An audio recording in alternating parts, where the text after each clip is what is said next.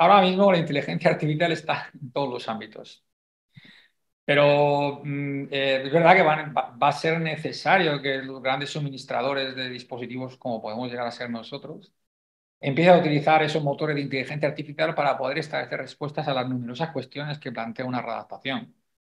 Pero claro, para eso va a ser necesario también tener numerosos casos o casos suficientes como para poder establecer de manera precisa conclusiones relevantes. No en mucho tiempo van a aparecer algoritmos, de hecho ya hay algoritmos eh, eh, desarrollados por diferentes centros de investigación. La Universidad de Murcia hay un grupo de investigación que ya desarrolla uno en la que combinando diferentes variables se establecen riesgos de incidencia, riesgos de lesión bastante próximos a lo que sucede realmente. Antes de aparecer la inteligencia artificial, ahora estos modelos pues, van a poder ser fortalecidos o todo lo contrario en un escenario totalmente nuevo tiene que ver con la enorme cantidad de recursos que son capaces de filtrar esos, esos sistemas de computación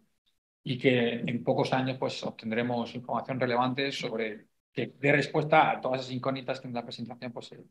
he lanzado sobre estos procesos de redactación.